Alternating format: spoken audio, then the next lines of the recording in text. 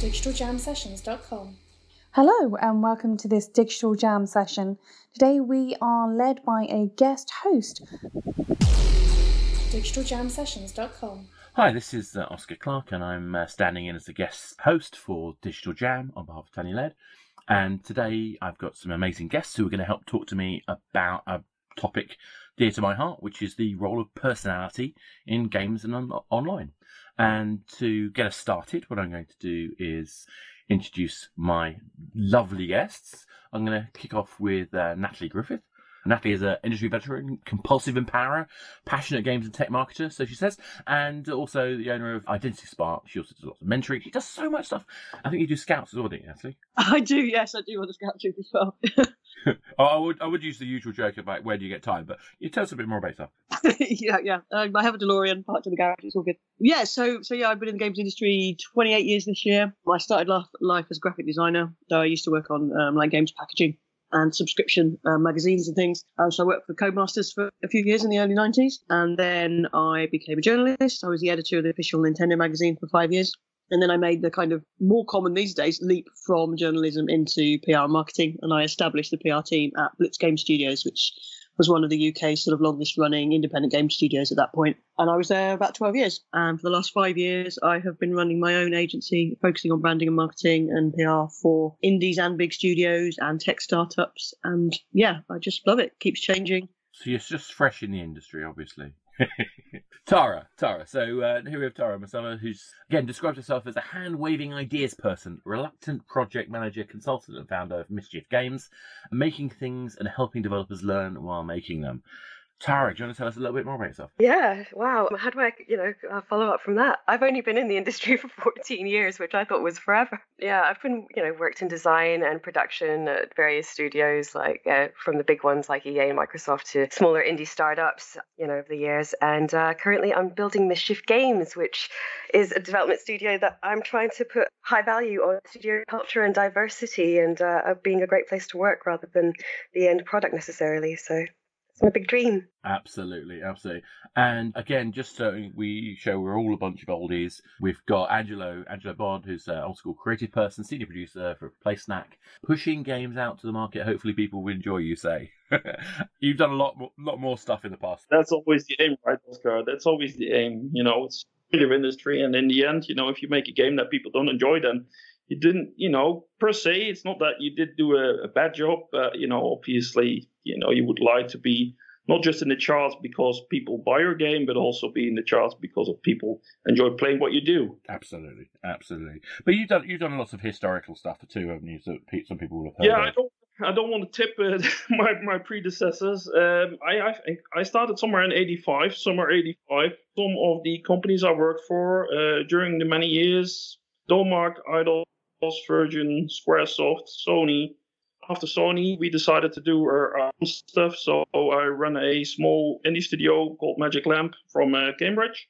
After many years of that, we said, okay, the market is changing. It went from AAA more to the mobile industry, and that's something that we said, okay, do we want to continue that? Do we, you know, do we not? Basically, somehow I got tangled into uh, Game of Thrones. They needed some help abroad, so basically, um, I went to Germany. I moved to Germany with my entire family. And then after that, I ended up right now where I am as a senior producer at Playsnak, where we do VR games. VR games. That sounds like appropriate for this podcast, definitely. Uh, yeah. What we wanted to talk about is this role of personality, and there's so many different ways to take it. But I suppose one of the things that really showed me what games can do in terms of helping me understand a role, you know, the, the effect that the input from either VR or games or, or just storytelling in general can do was a, a moment in the VR version of Batman. Uh, there's a, a Batman game where you get to be Bruce Wayne whilst his parents are shot. And this is something that in comic books we've dealt with all the time, but it was the first time I actually felt what it was like to be this young kid and the proportionate size of the world was was huge. And I've never felt you know, it, disempowered in a game before. Most most games you kind of feel like you're empowered, you're the hero, etc. It's the first time I really felt vulnerable inside a game. Uh, and I was wondering if you guys had any moments like that where you you had this kind of profound experience which put you out of your normal context. through either a game or an online experience? Probably be the first time I played that Dragon Cancer. Mm. I played the, the demo that like, it's Ryan, wasn't it, the developer that, that had uh, developed, and I hadn't heard anything about it before that point. I was just going around looking at some of the games on the expo and say, "Oh yeah, do you want to have a go?" And it's like, "Yeah, okay, cool." He gave me very, very high level idea of what it was about, and I was, I was properly, properly blown away and properly, you know, upset and disempowered from a, I guess, as a parent, the sort of the frustration. Explain the game for the listeners. Sorry, yeah. So, um, so yeah, it was um, a game that came out, indie game that came out oh, probably a couple of years ago now, and it was written by I think it was a husband and wife team of a young lad who was only oh gosh, still a baby, I think, um, when um, he was with cancer, and they basically, as part of their own therapy, I guess, as well, and to sort of celebrate his life, they they created a game that was an experience of kind of being in the hospital room, dealing with an upset child, not knowing how to comfort them, trying different things to comfort them, and that kind of helplessness of not being able to do anything for your child in a, in a desperate situation like that. And and I've never yeah, I, I, genuinely never, you know, I, am very passionate about the the sort of impact that games can have and kind of positive messaging and that kind of thing. But I don't think I ever expected to have such a such a deep seated emotional reaction to something as I did with that. And it was just a two or three minute experience. You're in a in a hospital room, the baby's crying, that you you know you're trying to comfort them, you can kind of give them, I think you can give them a drink, and you can try different things, and, and and there's like this sort of narrative running in the background, like a um, it's almost like a sort of a voiceover of the the head of the main character that's kind of trying to reassure that sort of pleading tone in the voice of trying to trying to get the get the kid to calm down. And, and it's just yeah i mean it would have been it would have been an emotional challenging experience anyway but then it's even more heartbreaking because you realize that it's it's a real thing. So i mean that that's probably one of the occasions that will probably, probably the standout occasion for me when I've kind of realised the power of, of literally just playing and almost just watching. Actually, there's very little you do in it. Yeah, it's a, it's a it's hard to call it a game at some point, so isn't it? It's, yes. Um, you know, yeah. it, it just uses all the technology, and it, it is an incredible piece of work. I, and I, I have to mm-hmm. confess that although I own it, I actually bought it. I can't quite bring myself to play it because I know how emotional it's going to be. Tara, what about yourself? So mine's a little weird. I remember having this distinctly profound experience when I played, you're going to laugh at this, Call of Duty Modern Warfare, the single player. Yeah. But it, I remember it was like ages ago, but it still like haunts me to this day because I remember there was, and spoiler alert, you know, for everyone, I'm going to tell you what happens in the game. In the single player, there was this one mission where I think you were flying, you know, I don't know the technical terms, but this helicopter and it crashes and you're you as the pilot and i think the pilot was female i couldn't even remember but there was literally nothing you could do to save yourself or anybody else around you. And yeah. it was just this feeling of impending doom. And I sort of, it made me empathize with, or I think to some extent, people in these situations. And I was just really jarred by this feeling of, in you know this inevitable death that was coming my way and this sadness and there's just this, just this countdown happening to that and and then i had there was another mission where where you had to um, you were in the bomber and you had to use their you know really um, scratchy scrambled UI to decide where you were going to drop bombs. And I just remember it being really jarring. Failing mission distinguish between what was an actual target and what was civilians, for example. Like, it made me think, you know, what about what about people in these situations? Like, how are you supposed to live with that? You know, because you don't get to just restart the level. You, ha- you know, in real life, it's just terrifying. Terrifying, exactly, and it builds up all of that kind of, you know, the reality. It gives, I suppose, this kind of gives you a safe space to to experience those, you know, stark realities. I'm guessing. Angelo, what about for yourself? What, what would you say was an example of the kind of moment that really kind of profoundly affected you? Uh, the thing is, primarily, I mean, I'm totally a different kind of gamer. I think, you know, I'm, I'm really like a Nintendo fanboy. So in that respect, Nintendo does not have really those deep emotional attachments and stuff like that. However, when I started looking into VR a few years ago, I actually downloaded a demo of Blade Runner. Mm. Now, Blade Runner put you in, you know, obviously in the skin of, of a, being a Blade Runner, basically. The immersiveness uh, it gave you as a as a player, being set in the VR world, makes it so more not realistic, but so more attached within within that that that moment and within the world that they that the you know the creators put you in. However, like emotional, I think it's it's everything. It's like the feel, it's like your movement, it's like the interactiveness within the VR field that really kind of blew me away how immersive this was. And I, I can't really give you um, a good example of what this is, but the thing is, if you have played VR games before, or even you know VR apps basically that are out there, it, it goes really deep. It, it, really does. I mean, to give an example, and and and, and this is not just really um, emotional state or stuff like that, but we just released a game in VR, and it's a simple shooter. Having said that, after 15 minutes of narrative and playing, it's really tough. I mean, I, I really sweat. It's like, whoa, that's an experience that you that I'd never experienced before. Yeah, no, totally. I mean, what I think an example of experience I've had in VR like that was most profound with the the demo for Portal. There's a there's a Portal VR experience. I think it was on the Vive. Yes, that's right. And I knew it was coming out. I was told there's going to be this robot that's going to come into the room, and you're going to feel yourself physically move backwards. And I was told that, and apparently everybody does.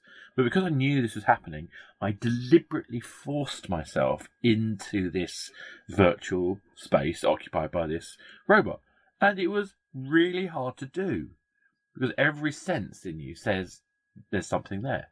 Yeah. Even though it's physically not there, you, every sense says it does. So that sort of level of a kind of immersion, which is completely, profoundly different in a VR experience, even more so than I think AR, is absolutely something kind of really effective. But it makes me think, you know, more generally. I mean, there's so many different ways where this can work well, and so many different ways this can work badly.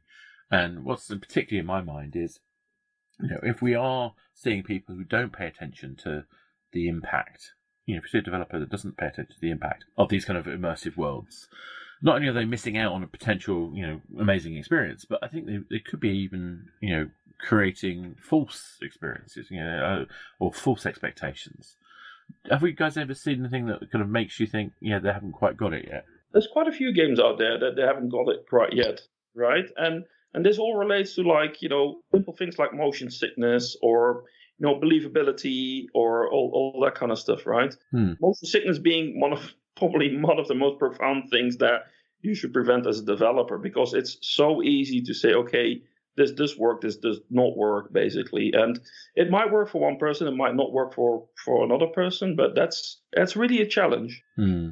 So, I mean, the other thing in my mind though is um, it's also a case of you know thinking about back to personality. We do see that there's something about being in a virtual world, or be, even being in an online context, where people behave differently than they would in their normal daily lives. Sometimes positively, but more often than not negatively. Now, I mean, there's a psychological principle about that because if we're in a protected, you know, environment where we don't, where we feel we're anonymous, a lot of the social norms go away. But have we seen anyone using? Has anyone seen anything using this this principle of anonymized experience, as in either online or, or in game, that's been used for a positive experience? Tara, do you have any kind of any ideas of areas where this idea of being within a world can be a positive experience? I'm trying to think of what what I am playing around with this big idea that I haven't quite developed yet, but maybe you guys can help me with this because I think one of the positive things is we've all grown up, you know, empathizing and playing through these stories, being other people, you know, through throughout all of our game experience. And does that has that had an effect on our generation and the generations to come on how we identify and how we or perceive the world in a normal day-to-day basis, you know? And I'm wondering if that's we've seen so much transition and change in the world today. Is that part of the reason why? Does that make sense? No, absolutely. I mean, I think it makes a lot of sense, particularly because. I know. I was just going to say that I kind of think I think that works. That works in both ways as well. I think there's depending on your kind of or personality to start with. I guess some people having the opportunity to quotes experience other people's experiences by being other characters can be kind of quite liberating and allow them to be more, you know, more free with their own choices, I guess. But then the flip of that is true as well. If you know, if you're kind of somebody that is you know you can end up only living your life in in anonymous virtual kind of Mhm. i don't mean kind of like you know ready player one kind of thing i just mean in terms of like conducting yourself and you actually then it then becomes potentially harder for you to be yourself so i think it can go either way just depending on you know the, the personality and, and your the experiences that you bring to it in the first place I mean, it does make, make me think about the echo chamber problem, particularly in the online space, where we, where we surround ourselves with experiences that we want, that we appreciate. So whenever we see something that has a different perspective, we, it feels jarring, and therefore there's an easy reaction against it, even if it's you know, even if it's just not true that you know whatever whatever thing, whatever prejudice we have, whatever experience we have, because we've just been so isolated, we're just not used to it, and therefore the new seems scary. Yeah, I think I think that's true, and I think you know we kind of see that even outside the games. You know, with in, in politics and stuff, and the last two or three years have shown that hugely the the power of the kind of social media echo chamber that you tend to kind of gravitate towards the things that you agree with and the people that you support, and and even if you're trying to be open minded and liberal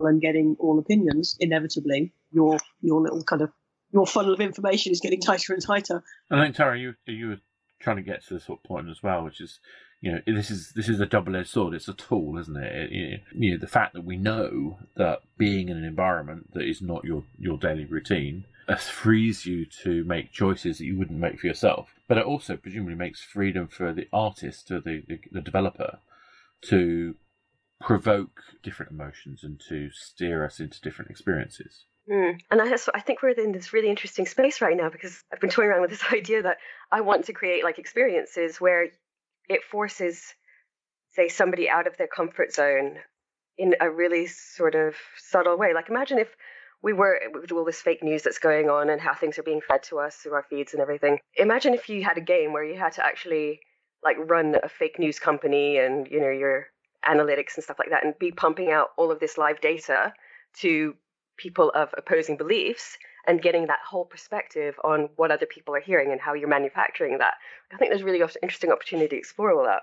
Mm. It's like a, a kind of taking an idea like the game Papers, Please, where you're basically following through rules and regulations in order to pass people through a effectively, effectively a customs gate, and you uh, work out as the rules change that there's changes in the society, and you're now starting to do things which you may not agree with, and how do you re- deal with that? Because the point of the game is that you do follow the rules. So yeah, I think there's whole, whole areas, and even actually, actually, you mentioned the physical side of things as well. I think that plays a part to a certain extent because you know if you are being very active, you know, in these kind of experiences, particularly because in VR and to a certain extent AR, particularly around location, you can be very active.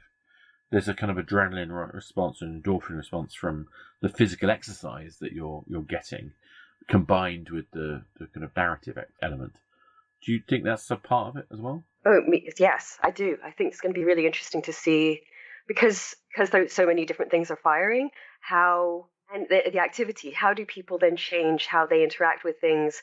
How their representation of themselves is it more authentic then? Do they not then want to violate all of these, you know, traditions or manners that we have or social values that we have, you know, in the real world? Does that translate because of this physical presence Mm. into these games? Um, No, exactly, exactly. Angelo, do you have a thought on that? Yeah, I mean, I've, I've been listening quietly. Uh, They just wanted to disturb me in the room, but uh, no, abs- absolutely, it's going to. Be, it's it's interesting. I mean, there has been a trend, uh, like I was saying before, you know, for the last four to five years, basically, into this field, and then that in combination with AR, you know, where that's heading, definitely, this definitely, definitely has, you know, an impact. Yeah, and I think it also affects us as developers. Yeah, absolutely. because I, I think you know. I mean, how for you, Angelo? You know, what, how how much time is involved in thinking about not just the personality of the player that's going to be playing this game, i.e., the choices they're likely to make, but also what personality you're bringing in. Because obviously, with things like Game of Thrones, you're bringing in you know established characters that are understood either through the television or from the books. You know, does that affect how you work? Yeah, of course, of course. You know, especially you just mentioned Game of Thrones. I mean, there is a you know very wide variation of characters. Basically, one of them is very sneaky versus one is very political, and how that's entangled into the game and the experience for players, basically. And also, how do how do the players perceive this? Right? You know. Uh, some some characters are very likable, some characters are very not likable, right?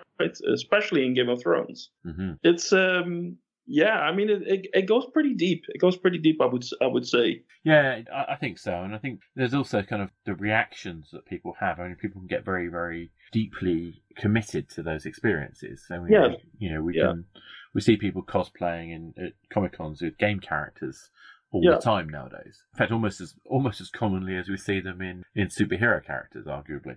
Yeah, absolutely. So I'm kind of wondering whether this is kind of spilling out into the sort of wider world. I mean, and part of that obviously leads us to the sort of, uh, I suppose, slightly towards what Tara and, and Nat, you two were talking about in terms of, you know, there is a sort of positive and a negative side to this. And, you know, the safety that somebody who's watching an experience, who's participating from a distance, can throw in grenades for fun, you know, the trolling aspect of things Absolutely, yeah. and that's been particularly bad. Over is that is that getting any better? Or are, are people dealing with that at all? Do we think? I I think yes because it's it's brought in the news more often, of course, and uh, and and on top of that, as being a parent, to make sure that the next generation is basically kind of protected by you know the, the, things what's happening right now, of course, because like you say, it's questionable. You know, an open world where every everything is possible, you have the, the good things and the bad things, right? And we're trying to protect uh, next of kin basically from all the bad things, basically that could potentially happen.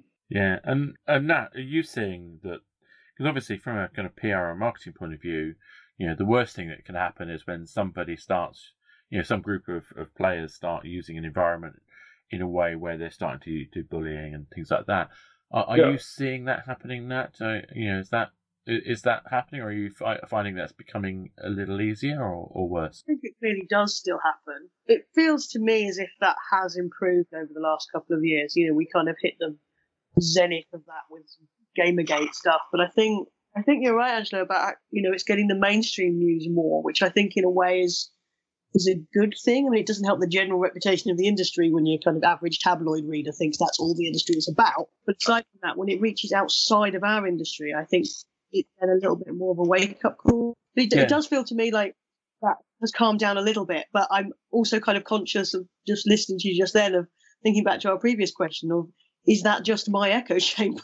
Yeah. You know, I, I don't play, you know, online shooters or, or, you know, it's kind of some of the games where that, that kind of stuff is more prevalent. So maybe I'm just less exposed to it. I've not worked on any, any games like that in a year or so. So it, my gut feel is that it improves, but I, th- I think you're also right, Tara, about, you know, as our, you know, we're a generation that kind of grew up with this stuff. We've had to navigate some of this stuff as it's arrived. You know, when we all started in the industry, all this kind of stuff wasn't even a thing. But I think actually it's because of that, it's only going to get better eventually because we're raising kids with an awareness of them, or hopefully with an awareness of that kind of thing. Yes, we are being cautious. We're trying to protect them. But well, so my kids are 10 and 12 nearly 13 and and so they're at the point where they're kind of you know massively into youtube and following stuff. And, the- and the the oldest one is is you know tentatively on social media to a degree. And it's i'm trying to it's that balancing act i think as as parents. And i think as creators we need to be aware of this kind of thing as well. It's kind of giving them not just protecting them but it's trying to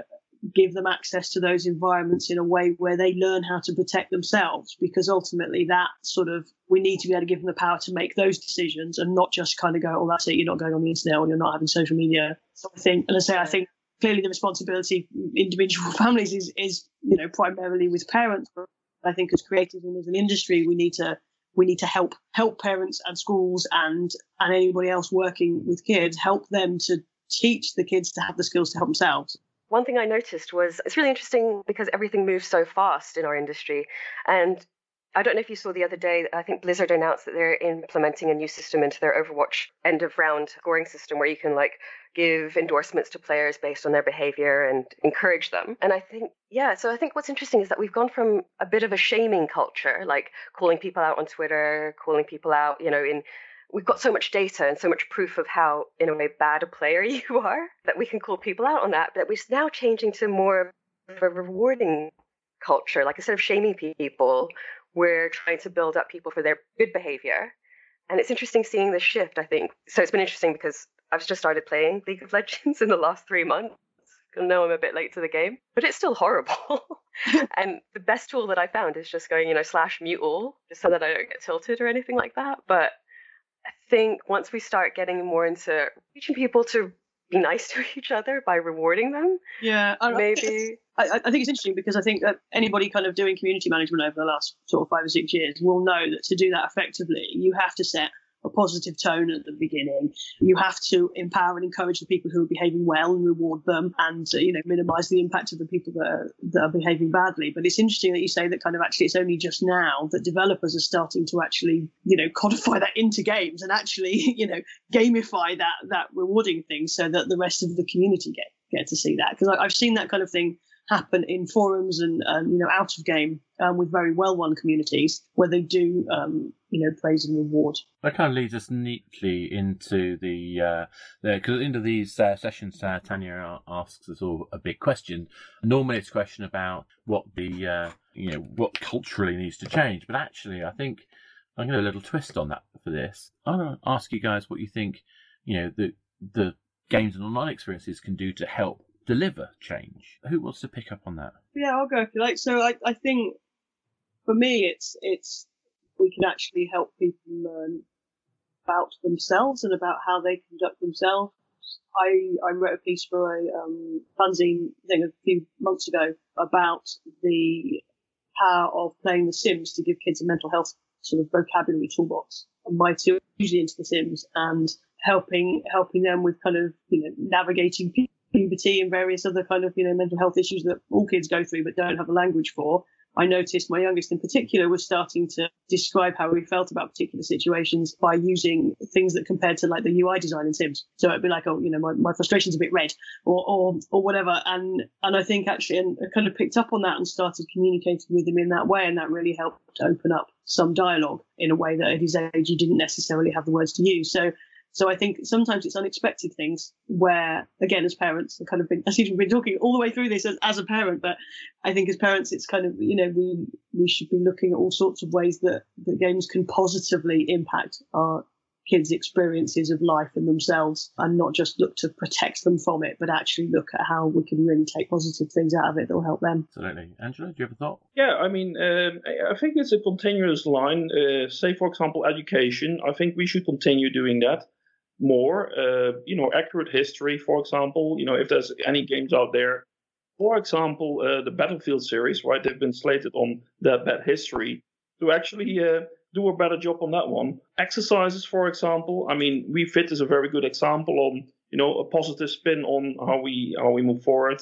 Uh, that should continue as well. I just bought a, a, game for my girls, my girl's eighth birthday. Um, I bought Dance Dance from Ubisoft. 2018 version. I think it's a very healthy exercise. Socially, she can, you know, obviously compete with uh, her girlfriends. I, I, think it's all, all of that. Mm, uh, totally. I think if you look at the praise that Assassin's Creed uh, Origins got for the accuracy of the way that they were building up some of that history. I mean, obviously it's a game; it's it's got you know fantasy elements to it, but you know they went to a lot of detail to try and you know get right for the period in the in the location in the around Egypt and so on and so forth. But you know, I'm a huge fan of anything that can bring authentic history, authentic science into games because it reinforces positive and science-based thinking. Tara, do you have any thoughts? Yeah, um, for me, it's about I think the idea behind forgiveness and kind of critical thinking as we're players. I think for, for a long time, it was sort of, and maybe this is the stereotype, like, you know, when I was growing up in schools, the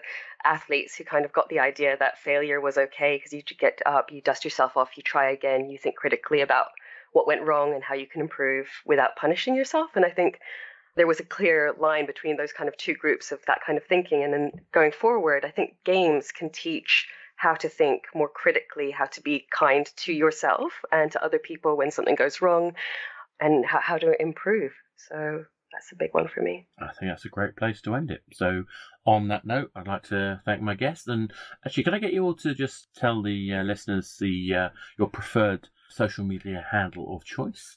Angelo, you, what's your what's your social media you use and the handle of choice? I don't really use social media that much, to be honest. It's more of, I'm, I'm more of a listener than uh, somebody that's actually posting stuff. I mean, that's more for our community manager over here. But if it's for people, I mean, I use Skype, but that's not really social media, is it? yeah, but if they wanted to uh, to find out more about you, what what would the and I mean, I mean, there's there's there's some stuff out there. Uh, if if people want to reach out, if they're more more interested, they can.